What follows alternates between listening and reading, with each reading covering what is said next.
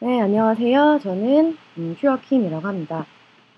퓨어킴이 이제 2014년에 미스틱에서 곧 나오게 된 어, 싱어송라이터고요. 제가 이제 오늘부터 음, 일주일에 한 두 번 정도 정기적으로 어, 마녀 상담이라고 하는 것을 해볼 거예요. 이게 무엇이냐면 음, 여러분들이 저한테 뭐 진로가 됐거나 뭐 가족이 됐거나 뭐 연애가 됐거나 그 외의 것이 됐거나 뭔가 상담이 필요하다고 생각하시면 저에게 요청을 해주시면 그 중에서 제가 이제 같이 고민을 나눌 수 있는 것들을 나누는 네, 그런 시간을 가질 텐데요.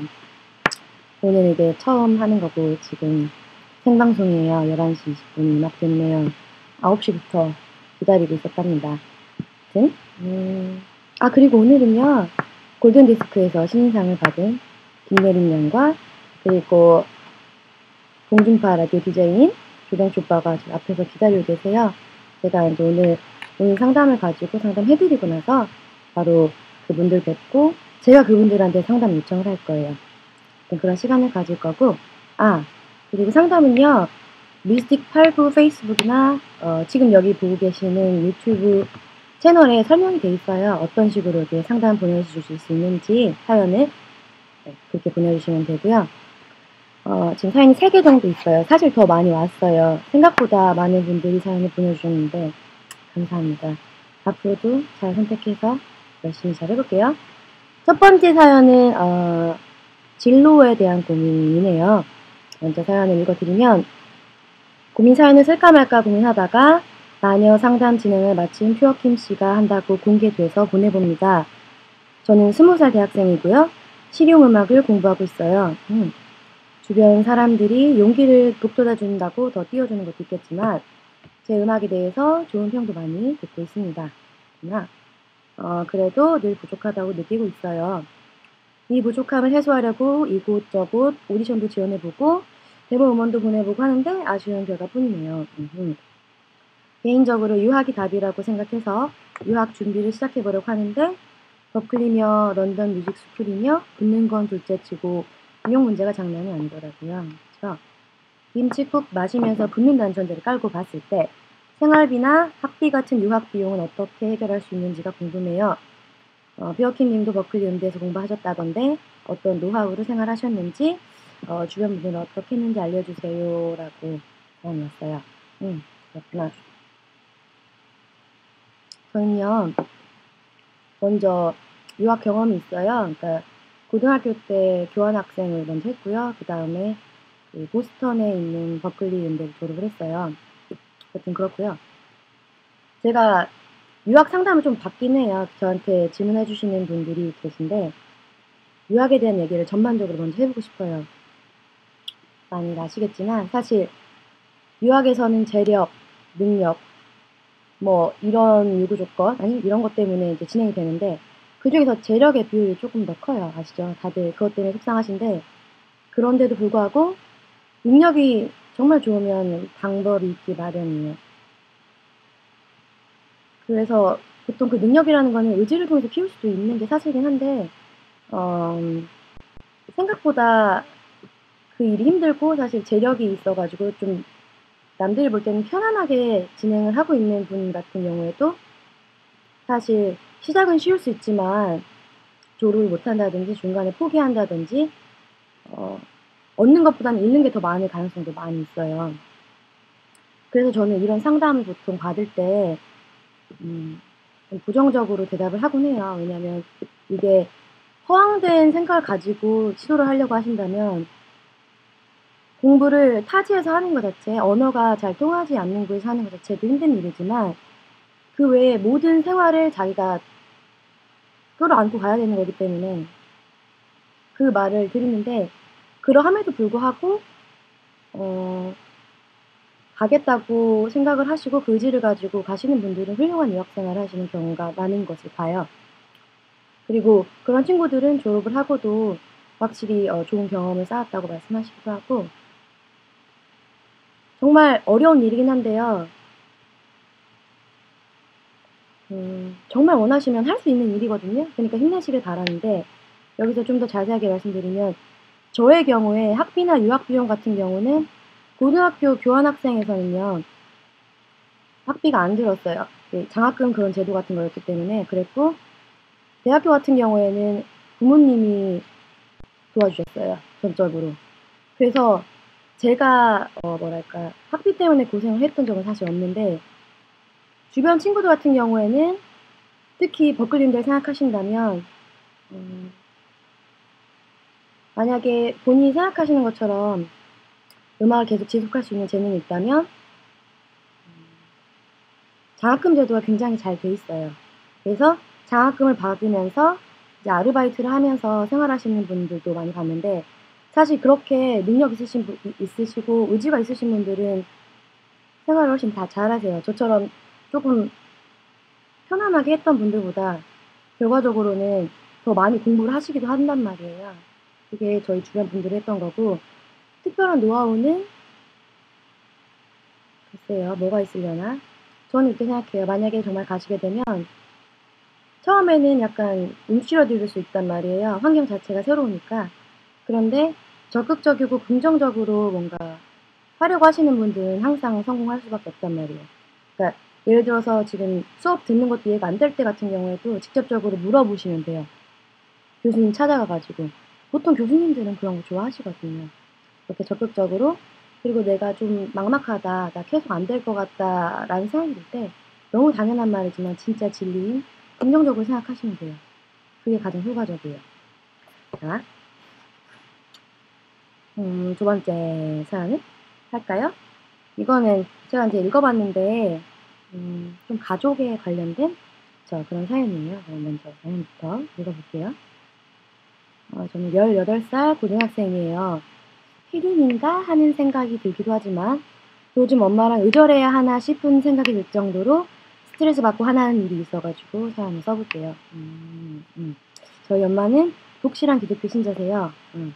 어렸을 때 할머니 돌아가시고 집안이 힘든 시기에 교회 다니기 시작하시면서 더 독실해졌다고 해요. 음. 엄마의 믿음은 저도 좋다고 생각을 하고 응원도 할 수가 있어요. 근데 문제는 저한테 심하게 종교를 강요하신다는 거예요. 일요일 예배는 물론이고 새벽 예배도 하고 어, 엄마가 자꾸 저한테 강요하는 믿음이 진짜 믿음인가 의심스럽고 제가 어떤 마음을 갖고 있는지 정말 몰라요. 그래서 차라리 막 무신론자가 될 것 같은 생각이 듭니다. 이 문제로 엄마랑 충돌이 잦아지는데 어떻게 할까요? 네. 제가요, 어, 이 사연을 듣고 두 명이 떠올랐어요. 제 주변에 있는. 비슷한 얘기예요. 비슷한 얘기고. 그러니까 또 공교롭게도 두 분 다 기독교 신자이신 부모님을 둔 자식들인데 첫 번째 친구 같은 경우에는요, 음, 그냥 종교를 믿, 거나 그렇다기보다는 가정의 평화를 깨기가 싫어서 그래서 네, 교회를 다니세요. 근데 신앙심이랄까 아니면 의지는 전혀 없어요. 뭐 그런 친구 한 명 있고요. 두 번째 친구는 독립을 완전히 했어요. 그러니까 경제적으로 확실히 독립을 했어요. 이게 이유가 돼가지고 고등학교 때부터 독립을 했어요. 이것 때문에 애초에 고등학교를 기숙사가 기숙사에 있는 고등학교를 들어갔거든요. 그리고 그 후로 이제 성인 된 후로부터는 한 번도 부모님한테 경제적으로 손을 벌린 적이 없대요. 이 두 분들 먼저 떠올랐는데 제가 여기서 가장 중요하다고 생각하는 거는 제가 생각했을 때 지금 상담 의뢰하신 이 고등학생 분께서 진짜로 종교가 싫은 건지 아니면 강요를 하시는 게 너무 싫은 건지에 대해서 확실하게 판단이 안 서신 것 같다는 느낌을 받았어요. 그리고 이게 굉장히 큰 일이기 때문에 스스로 판단하는데 시간이 걸릴 문제예요.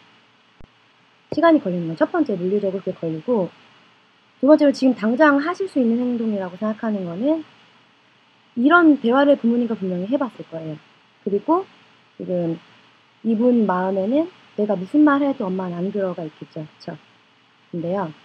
한 번만 마음을 더 비우시고 부정을 기대하지 말고 가장 순수하게 지금까지 그러니까 이 얘기를 하면서 화를 내셨을 수도 있단 말이에요. 화 내시지 말고 가장 엄마가 나의 마음을 잘 이해할 수 있게 한번 대화를 시도를 해보세요. 다시 한번요. 분명히 하셨을 거지만 다시 한번 깨끗한 마음으로 먼저 시도를 해보시는 걸 제가 추천드리고 그런데도 이렇게 쉽게 바뀌지 않을 것을 알아요. 네. 그럴 경우에는 지금 고등학생이어서 힘들 건데요. 만약에 음, 제가 두 번째 언급해드렸던 친구가 있잖아요. 그 같은 경우에는 그 친구가 말하기에는 물리적으로 거리를 두고 그러면 서로 그 개입 기회가 적어지고 그러다 보면 조금 더 약간 객관적인 판단을 할 수 있어졌다고 해요. 그러니까 저 같은 경우에는 지금 당장은 어려울 건데 그 생각을 하시고 준비를 하시는 게 어떨까 생각을 해요. 만약에 이게 고등학교를 졸업할 때까지 성인이 될 때까지 계속 문제가 생긴다는 말이죠. 왜냐면 그 두 번째 언급했던 친구 같은 경우는 결국에는요. 자기가 그냥 강요가 싫었구나라는 거를 한 15년 정도 후에 깨닫게 됐다고 하거든요. 그리고요, 사실 못 깨달을 수도 있어요. 그러니까 그게 자기한테 깨달은 점은, 아, 역시 나는 종교를 믿을 수 없어. 지금 무신론이 맞는 것 같아라고 깨달으실 수도 있어요. 그 무엇이 했던지 간에 틀린 것은 아니니까요.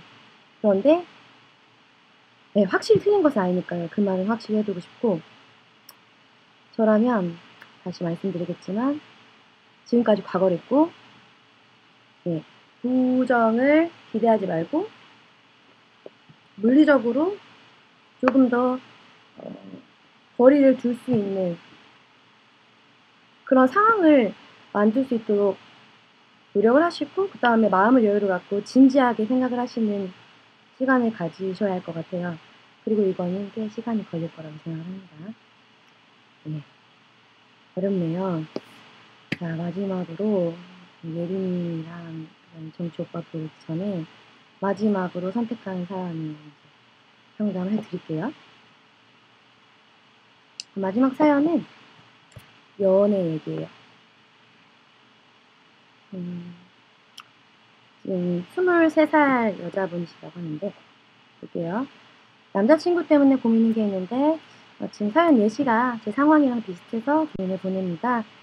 일주일 정도 사귀었는데 고백을 받고 사귄 첫날 바로 키스를 했어요. 아하, 그렇구만. 뭐 이 정도는 흔한 커플이라고도 볼 수 있는데 키스하자마자 더 높은 스킨십을 하더니 하루를 같이 보내자고 하더라고요. 음흠. 같은 과여서 알고 지낸 지도 꽤 됐고 어, 서로 관심이 있는지도 꽤 되는데요. 그래서 뭐 가볍게 만나는 그런 관계는 아니고요. 음흠. 근데 연인이 된 첫날부터 그런 얘기를 하니까 마음이 떠나는데 저는 아직까지 어떻게 해야 될지 모르겠고 아직까지는 성경험도 없는데 어떤 식으로 해야 좋을까요? 이런 얘기를 꺼내니까 관계 자체가 싫어지는데 남자친구는 저를 사랑하는 걸까요? 아니면 그냥 저랑 자고 싶은 걸까요? 음. 꿀이네요. 아, 제가요. 네. 진지하게. 사실 이 사연을 보내신 분이 남자분이 아니고 여자분이시잖아요. 그러니까 남자분의 마음을 그려서는 남자가 아니라 전혀 몰라요. 여자분이 얘기만 하면 보통 이걸 마음의 준비가 안 됐다라고 하죠. 어쨌든 싫다는 건데 저는 그 생각을 했어요. 왜 싫을까? 왜 싫을까? 여러 가지 예를 생각을 해볼게요. 그러니까 싫은 이유 첫 번째 뭐 임신할까봐 무섭다. 뭐 그럴 수 있잖아요. 가장 뭐 간단한 예. 그리고 사실 완벽한 피임은 관계를 갖지 않는 거예요. 완벽한 피임은 세상에 존재하지 않아요. 그러니까 가능성이 낮다고 해도요. 저 같은 경우에는 그렇게 생각을 해요. 만약에 정말 후회 없이 어, 육체적 사랑을 나누고 싶다고 하면 가장 중요한 게이 뭐 사람이랑 뭐 아기가 생긴다고 해도 괜찮을 것 같다라는 마음이 들어야 그런 수순을 가야 한다고 저는 그렇게 생각을 합니다. 그런 마음이 먼저 드시나도 궁금하고 두 번째로는 제가 생각했을 때는 보통 이런 얘기 많이 들으셨을 것 같아요. 경험도 있으시니까 아 보통 빨리 응? 자면 남자 마음이 식는데 그런 거에 대한 두려움이 있으실 수도 있는데 그렇잖아요. 식으면 지금 이분 안 좋아한 거예요 별로. 그냥 간단하게 말씀드리면 물론 식는 분도 있어요. 그런 음, 양아치 도 있다고 하는데 그건 양아친구고요. 대부분의 남자들은 어, 여자친구를 한 번 잡기 때문에 그 여자친구에게 실망을 느끼곤 하지 않아요. 정말 사랑하는 사람이라면 그건 절대 안 그러니까 걱정하지 마시고 그 다음에는 또 뭐가 있으려나 아 이건 좀 뭐랄까 자연스러운 느낌이 안 나거나 너무 이른 것 같아서 미담은요 여기에 대해서는 그냥 대화를 나누셔야 돼요. 나는 지금 이렇게 바로 말하는 거 기분 안 좋아. 이걸 저한테 말씀을 물어보실 게 아니라 남자친구한테 물어보셔야 돼요. 나 이거 말하면 기분 안 좋은데 그거 알아? 라고요. 근데 지금 막 사귄 지가 얼마 안 돼가지고 더 말씀하기 좀 부끄럽고 그러시잖아요. 그런데 그 버릇 들으, 들으셔야 돼요. 어차피. 왜냐면 둘이 사랑하는 관계에 있을 때에는 서로 가장 친하게 지내야 되는 거니까요. 힘드시더라도 노력하셔야 돼요. 그 부분에 대해서는. 그리고 조금 더 깊게 들어가면 뭐 성추행이나 뭐 그런 폭행이나 굉장히 아픈 기억이 있으실 수도 있고요. 생각보다 그 비율이 상당히 높아요.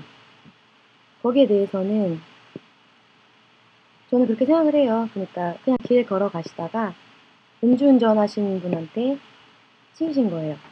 그러니까 사고죠. 살다 보면 사고는 항상 일어나요. 저 같은 경우에도 뭐 교통사고 나서 병원에 실려간 적도 있고 그냥 넘어졌는데 발목이 부러졌던 적도 있고 그냥 사고인 거예요. 사고예요. 물론 이거 쉽다고 말씀드리고 별일 아니라고 말씀드리는 거 전혀 아니에요. 굉장히 큰 일인데요. 중요한 거는 그 사고가 나한테 내 잘못이 아닌데 일어났다고 해가지고 평생 영향을 받으시고 인생에서 가장 즐겁고 아름다울 수 있는 거 놓치실래요? 그러고 싶지 않으시잖아요. 그렇잖아요. 그러려면 이것이 내 잘못이 아니고 사고였구나 그냥 인정을 하신 다음에 인지를 하신 다음에 시간이 좀 걸리겠지만 긍정 언어로 계속 자신에게 말을 해야 돼요. 그걸 믿어야 돼요. 나한테는 이런 경험이 있어가지고 이런 것 때문에 되게 두려운데 난 이렇게 해서 안 살 거야. 왜냐면 이건 내가 잘못한 거 아니었으니까. 정말 쉬운 게 아니지만 왜냐면 그건 정말 잘못한 거 아니니까요. 그리고 사고는 많이 일어납니다. 앞으로도. 마지막으로 생각한 게 저는요 이거 이 질문 때문에 이 질문을 받고 제가 주변에 있는 남자분들한테 막 다 물어봤는데 남자친구가 첫날에 자자고 한다. 자자고 하는 생각은 모두가 들 수가 있대요. 남자애들이 솔직하게 다 말해줬어요. 그러니까 그 사실 다 든대요. 근데 이분이 솔직하신 건데 정말로 좋아하는 여자라면 기다릴 수 있다라고 다 말을 해줬어요. 정말로 좋아하는 여자인지에 대해서도 헷갈리실 수가 있는데 그걸 알려면요. 대화를 하셔야 돼요. 부끄러우신데요. 저한테도 사연을 보내셨잖아요. 우리가 생면부진인데 그러니까 남자친구랑 꼭 대화를 시도를 하시고요. 내 얘기로 말하는 게 창피하다면 남 얘기처럼 말씀하셔도 되고 꼭 대화를 시도를 해보시는 게 가장 중요해요. 그리고 여튼 간에 저라면 실행을 안 할 거긴 해요. 그렇습니다. 그래서 아, 오늘 첫 시간 그 상담 3개를 했어요. 떨리네요, 많이.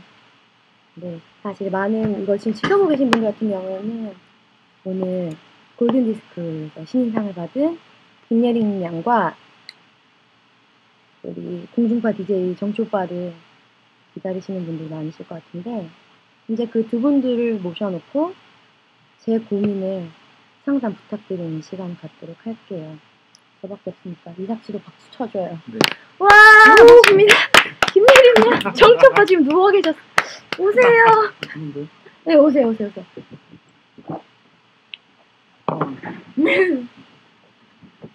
이게 지금 누가 보고 있는 거예요? 그니까. 와, 와. 예림이 트로피 가져왔어. 트로피. 어. 안녕하세요. 야, 인사 좀 해줘. 짠. 그 렇지. 네? 이게 뭐예요? 이거 상 자랑하려고. 신인상. 네, 신인상. 그쵸, 오늘 이제 예림이가 안 보이네. 멜론 어제 이어서 골든 디스크 시상식에서 신상 받았죠. 그래서 그 트로피예요. 음. 아, 김혜린 씨 진짜 올해 상 진짜 많이 받는 것 같아요. 신인상. 어? 올해 처음인데요? 아, 올해 처음. 작년에 아, 받았잖아요. 자, 그치, 그치. 아니까. 아, 또 까다, 까다롭게 주신다. 아니에요. 네, 안. 같은 거 아니에요. 지금 먼저 오늘 얘기 들으시고 네. 제 상담을 하러 오신 거란 말이에요. 그렇죠. 음. 얘기해봐요. 공중파 DJ 인체가 한번 들- 들어줄게요. 음, 제가 이제 두 분한테 질문드릴 게 다른데, 연장자 의대로 오빠한테 좀 질문할까요? 그러면, 아니 뭐 우리 둘이 같이 서로의 얘- 의견을 얘기해 줘도 되지 않나요? 왜냐면 제가 네. 몇줄 질문이 음, 음. 네네. 오빠여야 대답을 하실 수 있을 것 같은 질문이에요. 아, 왜냐면 들어볼게요. 저의 고민은 뭐냐면, 네.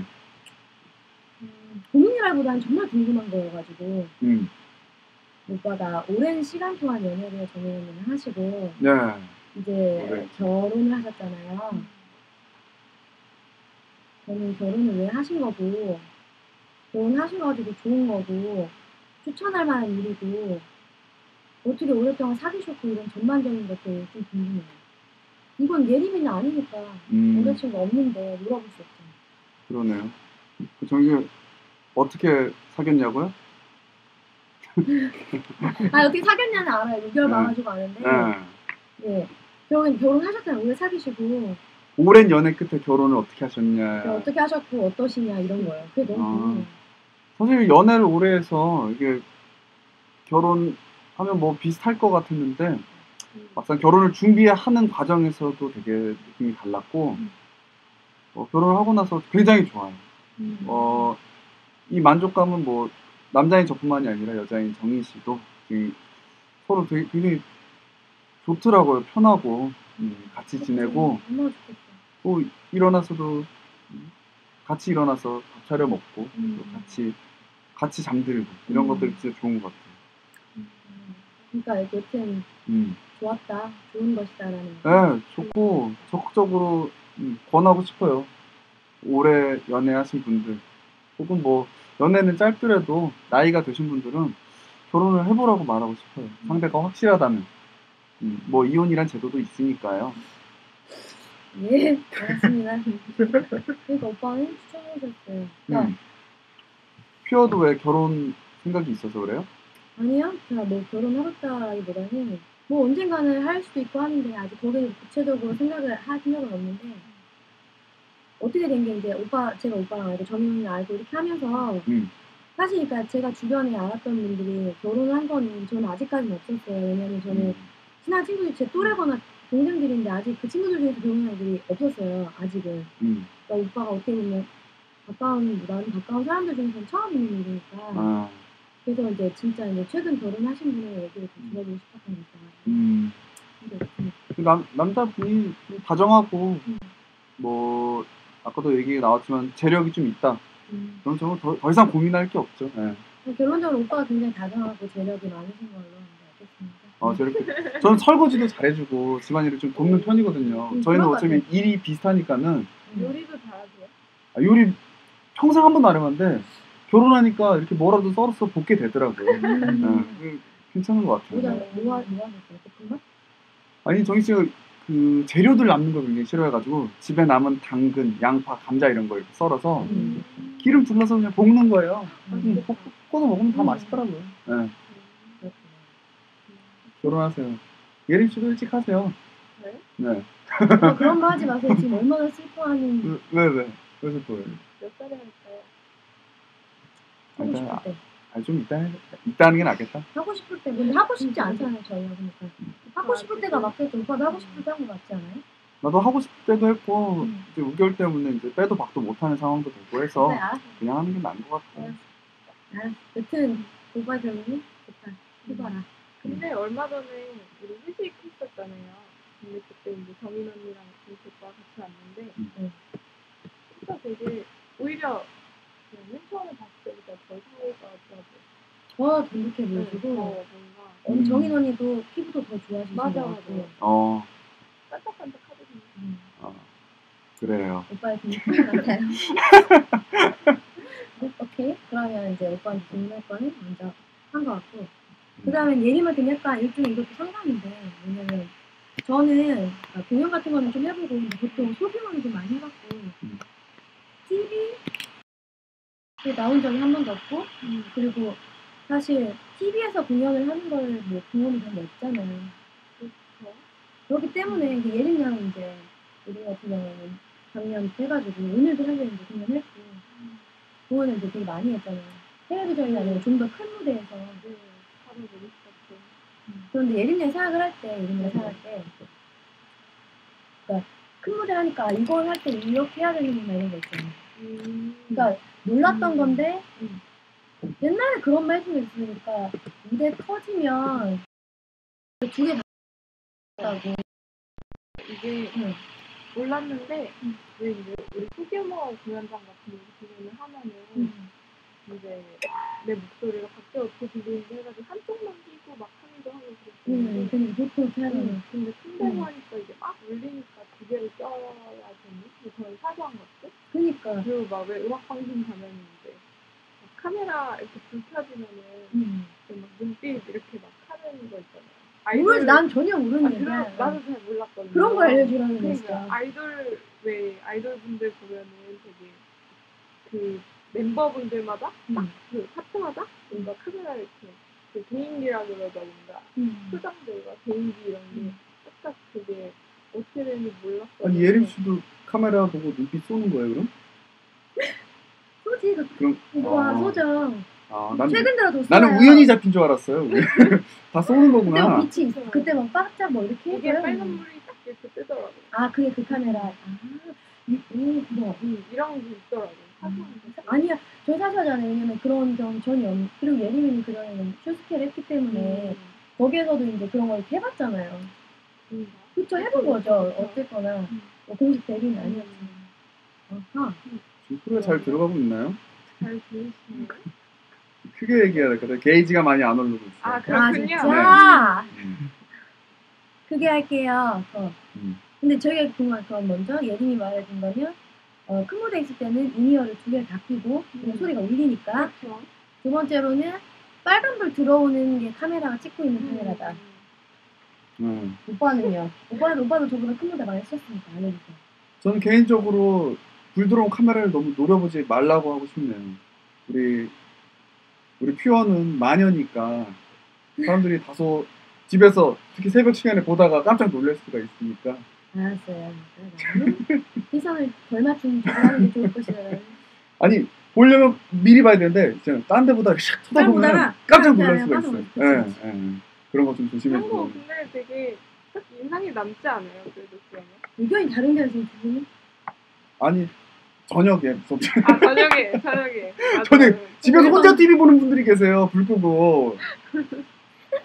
아, 근데 퓨어는 그 화면빨이 좀잘 봤더라고. 내가 화면으로 보고 어 잘 봤는다는 맞아, 생각이 맞아. 들었어. 음, 예. 그래요? 음. 고마울 거 예. 오빠도 하면서 싶어요 예.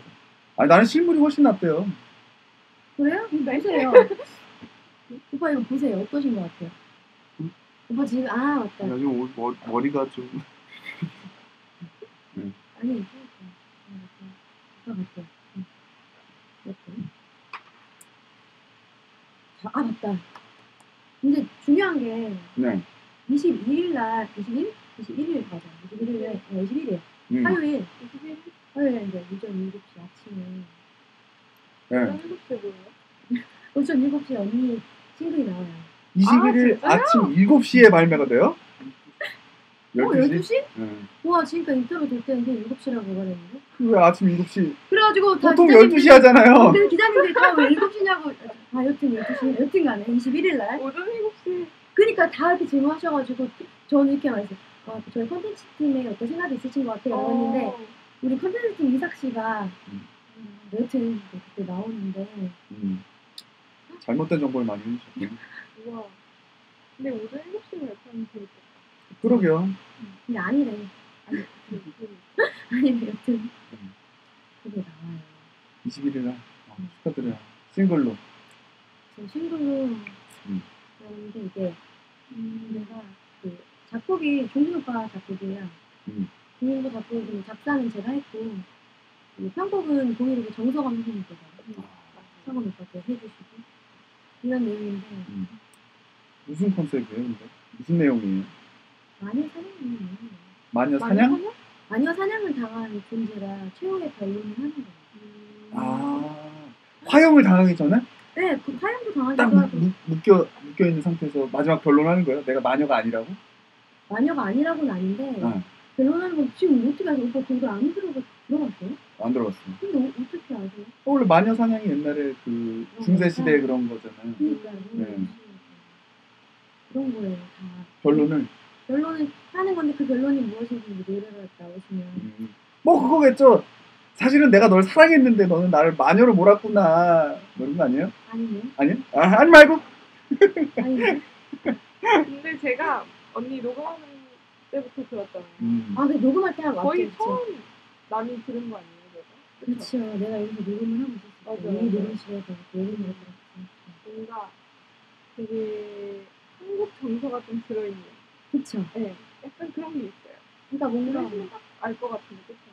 내가 생각할 때는 조기 오빠 곡인데 오빠가 가장 잘하시는 것 중 하나인 되게 가요적인 요소 있잖아요. 맞아, 가요적인 그런 요소가 되게 음. 많이 들어가가지고. 아, 돈 되는 거 해야 되니까. 이거. 아니, 근데 제가 처음 하는 거긴 하고, 저는 그때 되게 좋았거든요. 재밌었어요. 정말 재밌게 했어요. 그러니까, 모르겠어요. 종민 오빠랑 저랑 성원 선생님이랑 세 명은 너무 신이 나가지고 음. 했는데, 다른 분들은 듣고 싶어 하실지 모르겠지만, 듣고 싶어 하셨으면 정말 음, 잘 됐으면 좋겠어요. 그 퓨어김이 약간 뭐그 묘한 구석이 있잖아요. 그런 게 사람들한테 나도 어필했으면 좋겠어. 음. 네. 퓨어 김이라고 하니까 김 퓨어 먹는 아, 이게 퓨어 김. 아직 그 저 뭐냐 뭐지 그거 공정을 안 한 김 퓨어 김이라고 하죠. 퓨어 김. 그래갖고 생김을 퓨어 예, 김 퓨어 김을 잘 말려서 구워서 이렇게 기름 바르면 진짜 맛있죠. 실수하셨어요 지금. 아퓨 아니 김이어김. 근데 지금 퓨어 김이라면서 네네. 고민합시다. 네. 자, 그다음에 예림이 언니한테 네. 그러면 이제 또 나오는데 뭐 해주나요?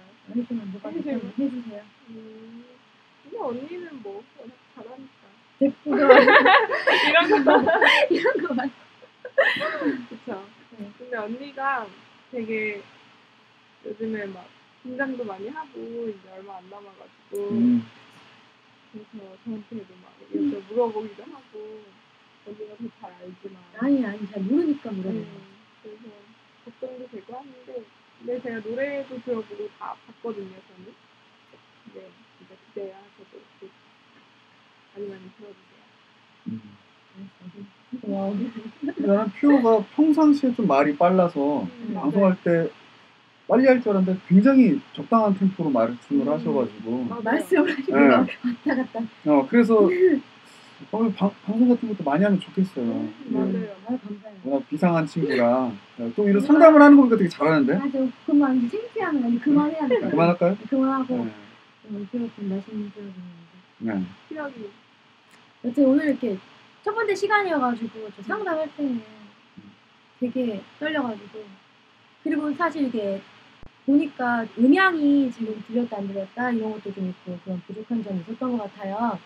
그런데도 이제 모든 분들 아 진심으로 감사하다는 말씀 드리고 싶고요. 그리고 와주셔가지고 뭐 끝난 거예요? 어 끝났어요? 아 이렇게 바쁜 사람 모셔놓고 이게 뭐예요? 더 길게 해야지. 이거 뭐예요? 어 끝난 건가요? 끝나는 게 아니라 이제 마무리를 내가 지금 상담할 때 다 물어봤는데 아 그렇구나 이거 뭐 캐라는 없는 거예요? 캐라? 그래? 페이 페이. 페이 없어요? 아 뭐야? 아 진짜 같은 사람 너무 부려먹는 것 같아. 그니까요. 아. 이런 거 있으면 할인 부르라고 할인. 왜날 불러? 나 바빠 죽겠는데. 양양양. 아이고. 아니에요. 장난이고. 아 근데 마이크가 있어야겠어 이거. 마이크. 음, 맞아요 음. 소리가 마이크 정말 잘 안 들리실 것 같아요. 저희가 음. 나름 크게 들리는데 지금 이게 이게 뭐라고 하죠, 오빠? 게이지? 게이지가 되게 조그만 데서 있어요. 이렇게 이렇게 있어요. 그리고 다음부터는 다른 분들도 댓글을 좀 저 뭐지 반응 좀 볼 수 있게 했으면 음, 좋겠어요. 지금 그러게요. 어떤 상황인지 저희가 모르니까. 그쵸 언니면 우리가 나, 그 생방이라고 생각 못 하실 수도 있고 네. 그 다음에 그 사실 제가 이제 처음 하는 거라서 너무 긴장하고 이래가지고 오늘은 그것까지는 할 만한 그런 저의 그런 여력이 없었는데 같이 직접. 그 댓글을 직접 보지 마시고 그 예, 옆에 한 분이 도와주셔서 네. 또 뽑아 주시는 거죠. 아, 자- 작가 역할을 하시는 분이 해서 역시. 뽑아 음, 읽을 만한 거. 왜냐면 그걸 다 보면 상처받아요. 한 10개 중에 9개는 악플일 거거든요. 피오기 그게 뭐냐? 못 재미없다. 말도 못하고 무슨 어. 소리냐 있으니까. 정치 오빠가 쓸 것 같아요. 아 다음에 내가 생방송 할 때 써드릴게요. 내가 앞으로 또 자신 있으니까. 그렇죠. 음. 지금 오빠 얘기는 오빠 라디오 DJ니까 아시니까 아. 그렇게 하는 네. 거예요. 아 내가 저 89.1도 말아먹고 있는데 여기까지 와서 내가 이러고 있네. 말씀. 재밌어요. 재밌어요. 위로하지 마. 오빠 떡볶이 배달 가고 이런 거 다 들었단 어. 떡볶이 배달도 했어요. 이것도 한번 해요. 생방송으로. 지금? 아니 11시. 지금 말고 지금 말고. 나중에 이거 이 노트북을 들고 다니면서 직접 가는 거예요 길에서 이렇게 막 가서 아, 떡볶이도 해. 이거는 이 논현동 근처에서 하면 되잖아요. 아니 뭐 예를 들면 우리 회사에서 그러면 되겠다. 그럴 수도 있겠다. 음. 돼. 음. 아, 여기는 미스틱 녹음실이에요. 네, 회사 녹음실이니까. 아 예. 맞아요. 자 정리해 주세요. 여튼간에 어, 지금 오늘 처음 시간이었기 때문에 부족한 점이 굉장히 많았을 것으로 생각이 돼요. 음, 앞으로 발전하겠죠. 저도 그렇고 전체적인 시스템도 그렇고 저희가 이제 이거를 시작을 하면서 크게 뭔가를 짰기보다는 점점 발전해 나가자라고 생각했거든요. 다음번에는 음, 언제 하게 되려나요? 언제 하게 될까요? 그것도 안 정했어요? 토요일, 토요일? 토요일? 아 몰라. 토요일 밤 11시. 밤 11시? 이번 주? 네. 내일 모레잖아. 네. 우와, 아. 아, 일주 일주일에 두 번이니까 어, 그럼 매번 이렇게 미스트가 있는 거예요? 있을 때도 있고 없을 때도 있고 솔직히 예림이나 정치 오빠는 맨날 못 오시잖아요. 그러니까 뭐 시간이 없고 어. 오빠 오세요. 예. 테라 있으면 좋겠다. 테라. 아이고 알았어요. 네, 여튼 네. 어, 지금 같이 봐. 축하해요. 어. 네. ፈል감이 없었어. 저, 저 축하해요. 이거 그거 아니잖아요. 그 오지은 배우님이 우리 회사에 주신 주잖아요. 그래? 네, 제가 까먹었던 건데 반대로 우와, 말랐다, 야. 맛있다. 마, 마무리해줘요, 빨리. 마무리 하려고 할 때마다 지금 계속. 여튼 부족한 점 많았는데요. 계속 그만할 것이고 다음번은 이번 주 토요일 11시에 할 거예요. 음, 저한테 상담 의뢰하시고 싶으신 분 계시다면 어, 지금 여기 유튜브 채널에 설명이 되어 있기도 하고요. 아니면 어, 리스틱 팔고 페이스북에 오시면 방법이 다 있어요. 여기 상담 요청해 주시면 제가 정말 진심을 다해서 열심히 할게요. 오늘 첫 시간은 그분들 덕분에 되게 마지막 경기 즐겁게 잘 끝났네요. 음, 이건 오늘 받은 거예요. 신인상. 끝까지 자기 시상 얘기만 하고 있어! 뭐야 이거 나, 아, 나 주는 거 아니야? 받으시라고. 아 그치 그치. 이거 집에 가면 짐 되거든요, 또. 아니, 버리기 아니야 그래. 정말 그거 봐봐요. 색깔, 얼마나. 여자들이란. 지금 끝을 내라고 하는데 지금 왜 네. 그러시냐고요. 자 그래서 무슨 얘기했냐 계속 까먹어. 마무리하고 있어요. 마무리. 사연 많이 보내주시고 저는 진짜 열심히 할게요. 그리고 지금까지 음, 이거 봐주셔서 감사드리고 음악. 아 20일. 저 21일 날 음원이 나오는데 아. 아, 저 21일 날 생일이에요. 어, 그래 우리 예림이 생일을 어. 근데 되게 자기 중심적이다, 예림이! 아. 아니 아니 아니야 야, 아니, 여러분 새벽부터 일어나서 되게 기빠졌다 그러더니 되게 기운 없더니 방 들어서 자기 얘기만 엄청 하네. 그래갖고 우리 예림이 생일인데 제가 21일 날 그 음원도 나오면서 그날 또 이걸 할 예정이에요. 그날도 그래갖고 예림이 생일 파티를 못 가게 됐어요. 맞아요. 저는 예림이 생일 파티를 포기하고 다음 주에도 이 상담을 열심히 나는 예림이 싶고. 생일 수한테 초대도 못 받았는데? 나도 못, 가, 못 가네. 얻어봐봐 어, 지금 오시는 거예요? 응? 오시는 거예요? 선물 초대를 안 했더니. 아니 선물 선물 가지고 아, 우리 나이 무슨 선물이야. 그냥 가서. 아, 뭐, 아니 예림이 나이잖아요. 응? 예림이 나이. 가서 술이나 한잔 따라주고 그렇게 그냥. 예, 그럼 21일 날 싱글이 21일 날. 나오고 21일. 응. 20일 동안 하자 21일. 이게 뭐지? 21일이라고 12일날 나오고 아, 저는 네. 다음 상담은 음, 네, 이번 주 토요일 11시에 그다음에 또 하겠습니다. 상담 많이 올려주세요. 지금까지 시청해주셔서 감사드립니다. 다음에 또 봐요. 안녕.